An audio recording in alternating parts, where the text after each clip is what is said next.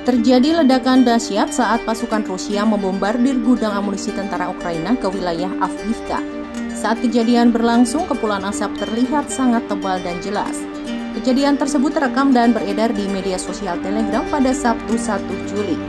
Diketahui serangan tersebut ditembakkan di pinggir jalan dan jauh dari pemukiman warga. Kala itu terlihat api membumbung tinggi dan kepulan asap tampak sangat hitam dan tebal. Adapun para pejuang Rusia kala itu melakukan serangan seusai melakukan pengintaian menggunakan drone. Diketahui sebelumnya, di lokasi yang sama pasukan artileri Rusia sempat menghancurkan sejumlah benteng brigade mekanik terpisah ke 110 angkatan bersenjata Ukraina. Pernyataan tersebut disampaikan oleh Kementerian Pertahanan Rusia.